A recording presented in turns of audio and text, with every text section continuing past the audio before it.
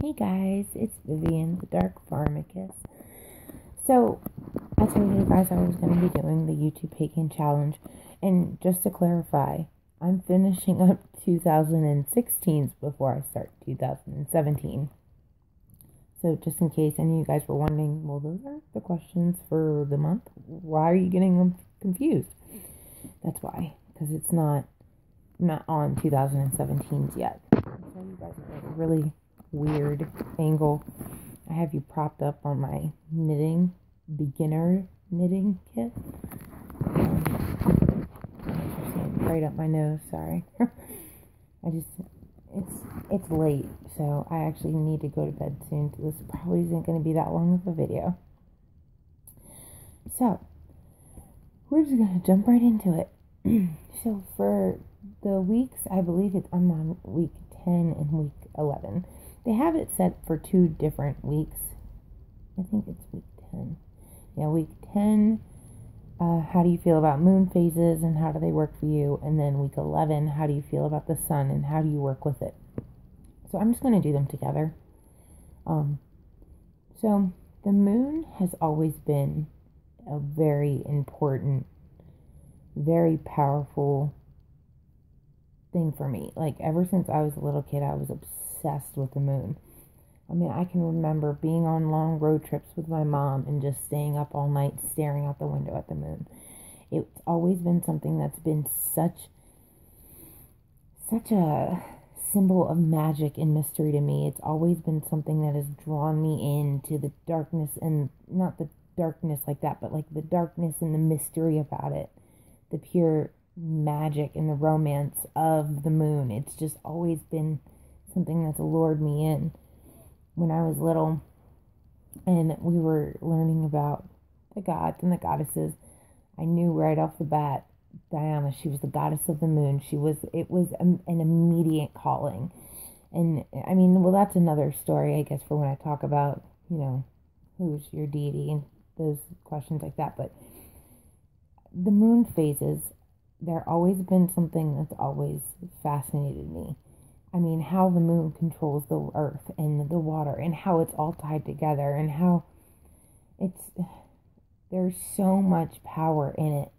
And to think about back in the olden times that our ancestors that they actually worshipped the moon as it was an actual deity. I mean, yes, today now we know it's not. It's it's made of rock, like it's different, but just the mystery and the pure magic. Like even back then, they knew that the moon held such power. It held such presence and awe about it. It's it's amazing. I absolutely adore it. One hundred percent. Like I'm not even kidding when I tell you, I could sit outside for ten hours if I could, and just watch it. Just sit there and look at the moon. I love it it just brings a whole new sense of cleansing to me. It's a whole new sense of purification, being touched by the light of the moon that cleanses you on a whole different level. As the moon projects its light down into you, no matter where you are, but you become a vessel for that cleanly, that cleanly. I can't even fucking talk. I'm sorry, but you become a vessel for that light.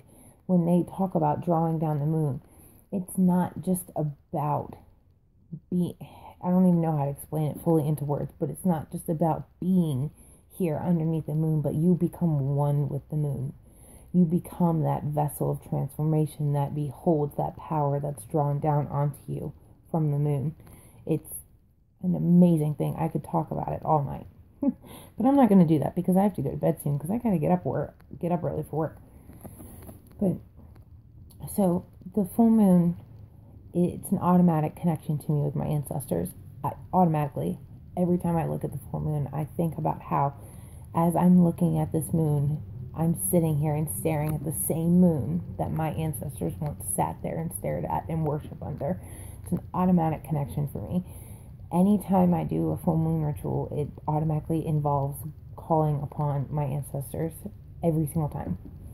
And I'm not gonna lie, there's been a couple moons that have passed recently, and I haven't done full moon ritual, and I've been wanting to so bad, but just haven't done it. Like laziness, as far as like I need to get up ready and get up early for work or things like that, and Like I've done other things. I'm not just not doing anything, but I haven't done my full moon ritual, my full ritual.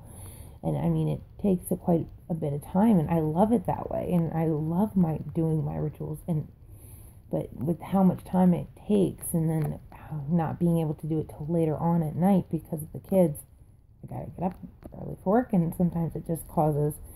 But it's only been twice now, and I'm not gonna let that happen. I'm just I gotta do it because I want to. It's not that I feel like I have to. It's because I want to.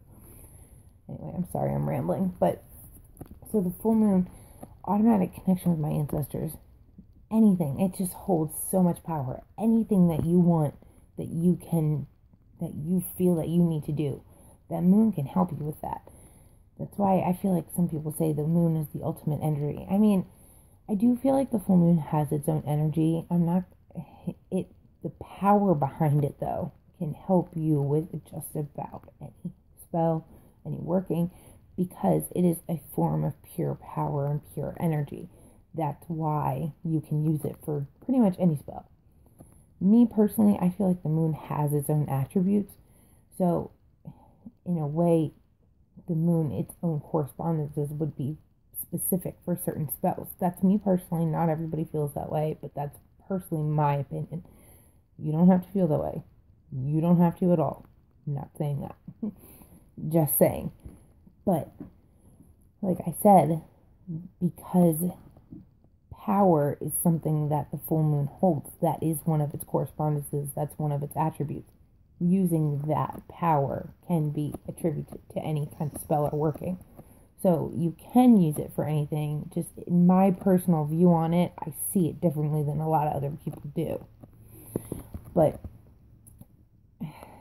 I mean, the full moon, just its majesty, its greatness. Like you, here I am. I'm gonna go on this huge ramble about how wonderful full moon is. Not a lot of people that I've noticed I mean, there are quite a few, but not a whole lot of witches that I know actually work with the moon phases. Like, they don't use it as a constant guide to their practice, which is okay. I mean, you don't have to work with the moon. You can work with whatever the fuck you want if you feel like it makes it's right for you. So I just I found I thought it was interesting because when I first when I very first started associating and realizing, oh, what I'm doing is witchcraft. I'm a witch.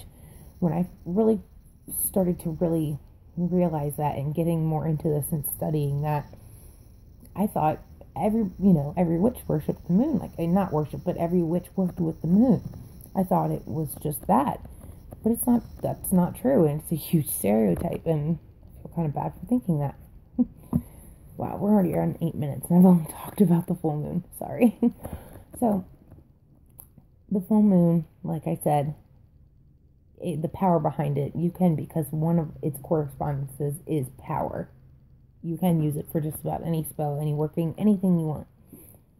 I use the full moon to me, it's power, it's pure psychic energy, it's transformation, it's the ultimate transformation, and ancestor work. I mean, there are other things that I can that I associate the moon with too, but those are my main things any kind of water working, you know, water witchcraft like sea magic. That's automatically I feel completely drawn to with the moon. Sorry. Um so then um the new moon, the black moon. Shadows. I mean, like I've said before, I personally think that shadow work is something that you should it shouldn't be and I don't like saying this because it sounds off, but what I mean is I don't think shadow work should necessarily have its own category I feel like it is something that you should be doing all the time, every day, all the fucking time. You fucking need to work with your fucking bullshit and get the fuck over it. Just my opinion. Not everybody feels that way, just my personal opinion. But the new moon to really it's purification, it's cleansing, it's the ending of the old and the beginning of the new. It is time to clear out that bullshit and get rid of it and fucking move the fuck on. That is what I use the full moon, or I'm sorry, not the full moon, the new moon for a lot, the black moon. I do my black moon rituals, which take three nights, and I work on a dis- different aspect of myself. It's a ritual that is sacred to my tradition, so it's not like I'd be able to show you guys it, but if you do want to learn more about my tradition, my teacher, Raven Grimassi, is amazing. I love him to death. I love Stephanie to death. They're amazing people. They have books on our tradition that you can, they have rituals in it and they go about it and they talk about it and, you know, you can learn all the full moon ritual from the Thorn Blooded Witch book is based on our ritual that we do. So that is an amazing. It works on three nights, and you work with the three daughters of night, and each of them has a different aspect: shadow, blood, bone, and it goes from there. So that is another, not necessarily ancestor worship to me, but more on honoring and working with the kin of witchcraft, the old ones, those witches who had come before us. That is a big part of my black moon ritual, my new moon ritual. It's a big part of just being within that energy. It's time to cleanse out the old and bring in the new, but it's also time to honor what has come before in the old. It's time to acknowledge it. Um, you definitely pull up, like I said, your shadows, shadow work. It's, you know, some people classify it as shadow work. You want to pull out those inner shadows, those inner demons within yourself. Let them go. Don't let it be a burden. You want to connect with that ancient witch within yourself and to really truly connect those shadows, that shit that you hold deep down inside you. It can weigh you down. It brings you too much in a mentality state. Mentality state. It brings you too much in a mental state to connect yourself to the daily world. And at least for me, when I'm really trying to connect with that inner woods witch within myself, that true, deep, primal energy, being so focused and connected to the daily world and the stresses and the bullshit, it weighs me down, man. Like it fucking, I can't stand that shit. So that's a good thing that I like. It helps clear that fucking bullshit out, gets rid of that. You don't need that shit when you're trying to connect to the primal energy within yourself. You will go fucking mad. Just saying. but so connecting and letting go number one for me with the new moon. Number one. This is going to be really short because, you know, the last two because we're already on 12 minutes and I feel like I've been rambling the whole fucking time. I'm very sorry. So, waning energy. The waning moon, banishing, getting rid of. You want to completely clear out the path for you so when the waxing moon comes around, you can bring it all in what you want to clear out, you want to supplement and bring in something else. So, I like I did with the banishing poverty spell.